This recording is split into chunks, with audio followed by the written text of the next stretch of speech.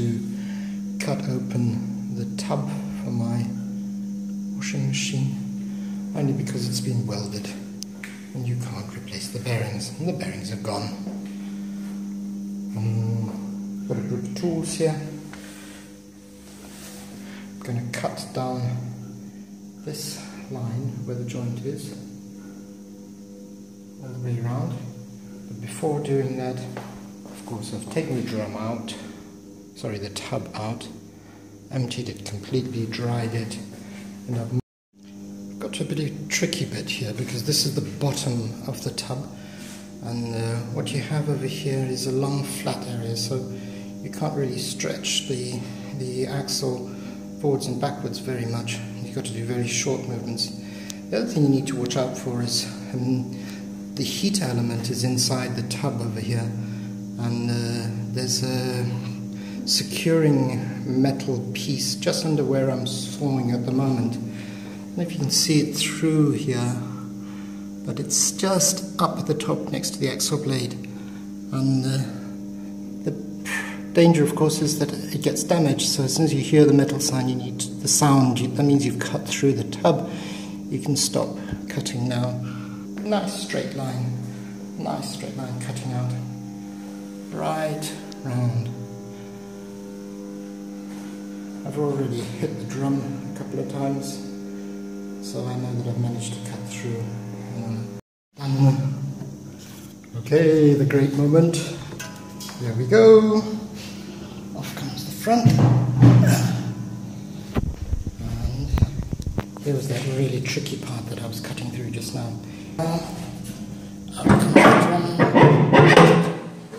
Typical bleak marks, and that is there, and the seal is gone. The seal is gone.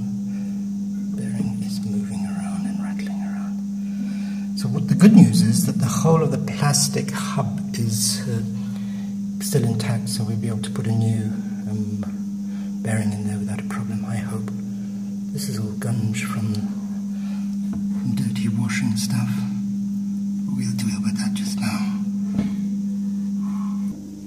the shaft looks a bit rusty. We'll have to clean that up. We also have to look at this part. This is a really important part because that's where the seal runs.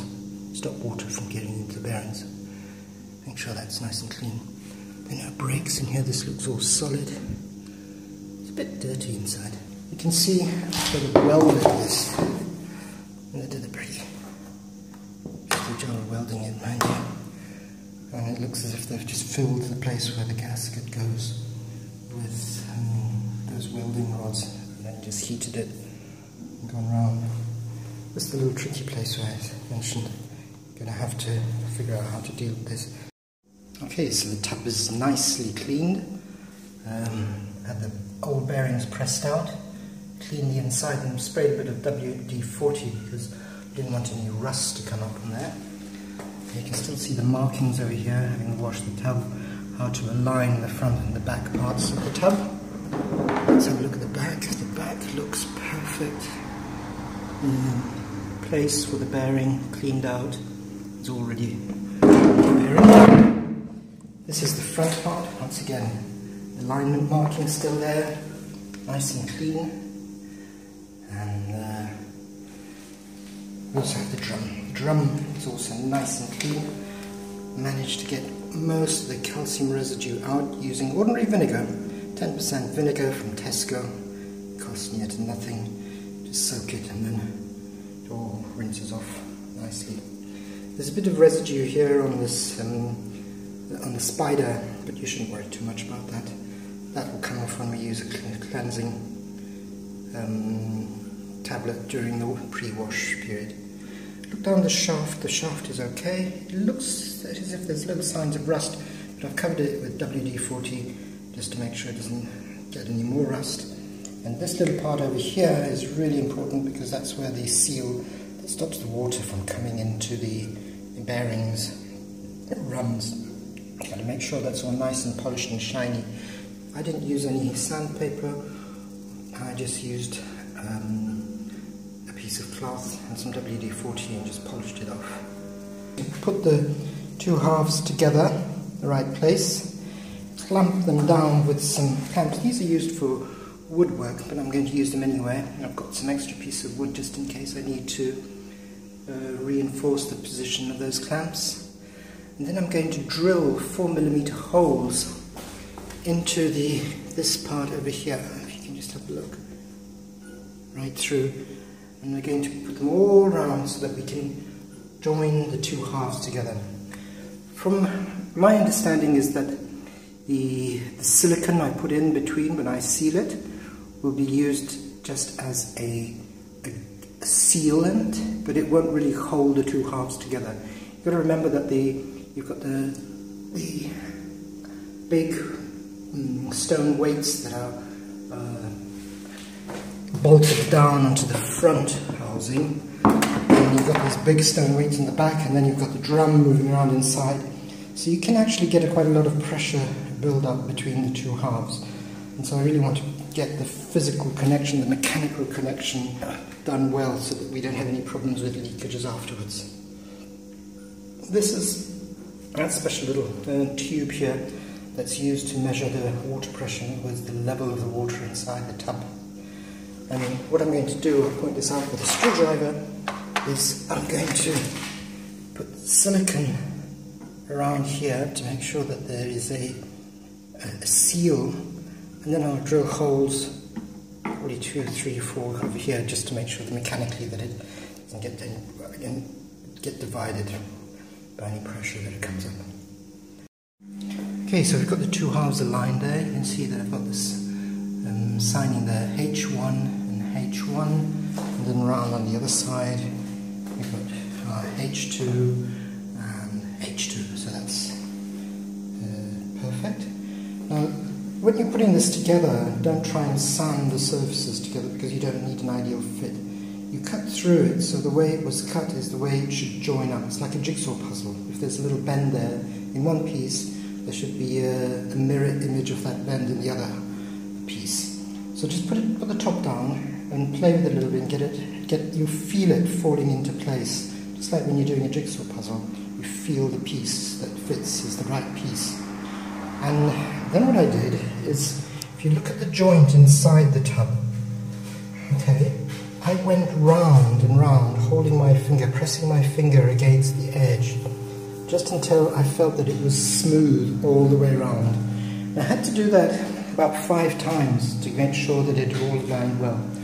Now, what I've realized now when I'm doing this is that this is actually probably the most important part of putting this um, cut welded tub back together because uh, had I put the silicon on and tried to stick it together and then drill the holes then I don't think I'd be able to get it aligned properly like I have now.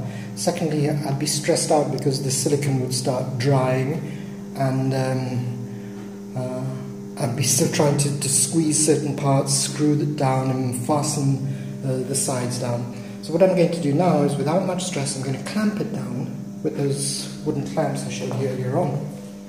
And then uh, drill the holes, put the nuts and bolts in, all around, make sure that it's all really nicely sitting properly. And then I'll be able to take it off once I've got the, the tub bearings installed and the seal, the new seal in place with the uh, spindle inside.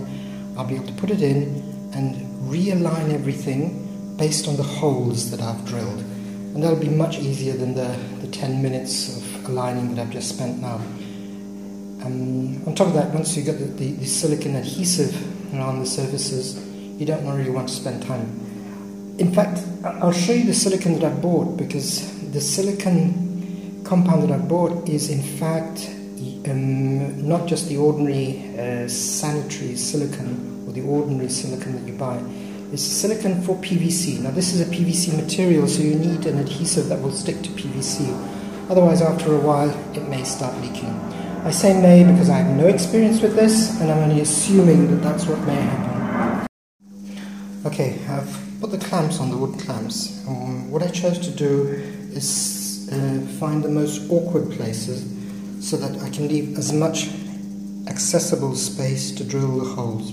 So the clamps are in sort of the awkward little places where I wouldn't be able to drill anyway. And uh, that's the way it looks. It's all clamped together and I'll start drilling the holes.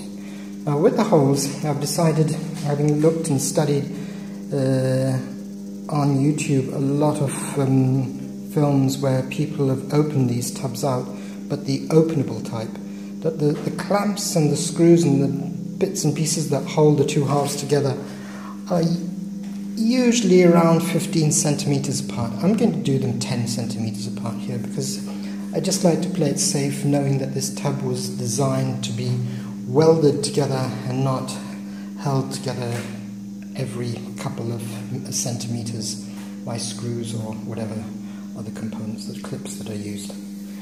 Okay, so I'm doing it all without the glue at the moment, without the drum inside just to practice and to align everything, make the holes ready, so that when it comes to putting in the adhesive and the drum inside, that I'll be ready to align the, the outside two halves and put the bolts in straight away.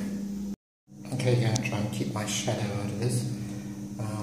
What I've done over here is, without putting the silicon um, sealant, I've uh, clamped the two halves of the tub together, drill line them properly, there goes the shadow, and uh, screwed it down. Turns out the 25 screws all together. It's quite a tricky uh, job, every 10 centimeters. And uh, before you start this job, need to get yourself a long drill bit. Not because you need to deep, very deep, deep holes, it's just that you need to have the drill bit straight, and if it isn't long enough, you the, the side of the drill will, will get caught and will, will touch the side of the tub, and then the drill bit will go where it's bent. So you need to have a long drill so that you can have nice straight holes. Um, this is a this is the part where I mentioned that there's this special container that I cut open, so I've had to put four screws around it to make sure that it gets mechanically held together properly so the silicon seals it off. Okay, going to try and keep my shadow out of this. Uh, what I've done over here is, without putting the silicon um, sealant, I've uh, clamped the two halves of the tub together, drilled, lined them properly, there goes the shadow, and uh, screwed it down. Turns out the 25 screws all together. It's quite a tricky uh, job, every 10 centimeters.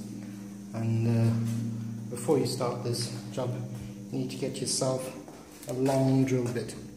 Not because you need to deep, very deep, deep holes, it's just that you need to have the drill bit straight. And if it isn't long enough, you the, side of the drill will, will get caught and will, will touch the side of the tub and then the drill bit will go where it's bent. So you need to have a long drill so that you can have nice straight holes. And um, this is a this is the part where I mentioned that there's this special container that I cut open. So I've had to put four screws around it to make sure that it gets me mechanically held together properly so the silicon seals it off. Um, the motor will be going on here so I've got some screws just underneath the motor as well.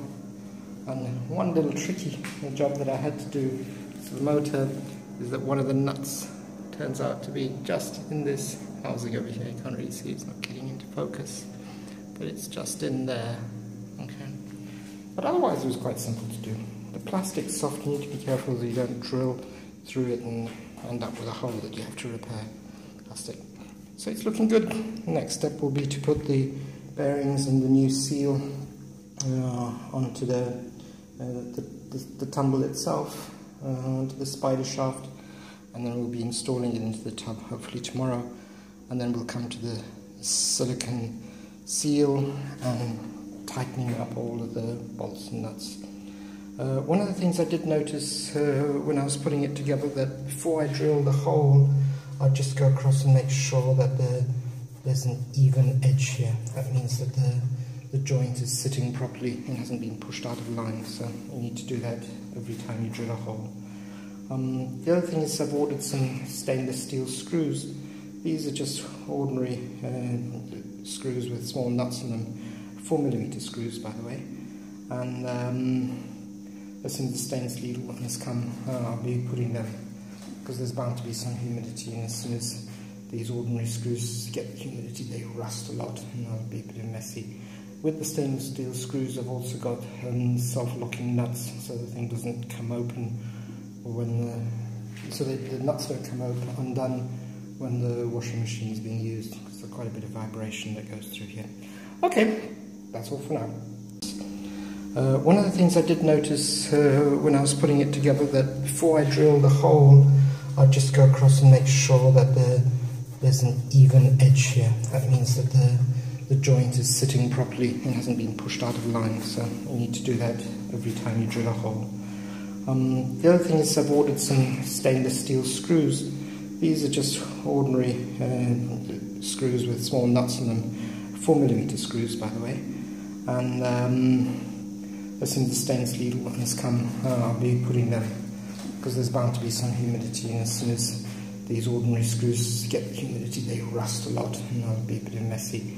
With the stainless steel screws I've also got um, self-locking nuts so the thing doesn't come open when the, so the, the nuts don't come open undone when the washing machine is being used because there's quite a bit of vibration that goes through here.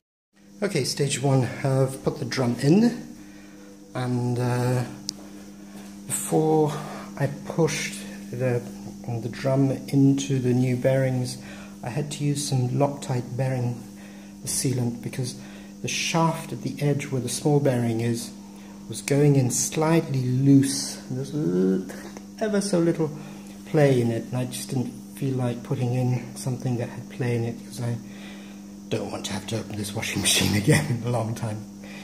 And the uh, next thing, of course, is to put the, the, the pulley on on the back and tighten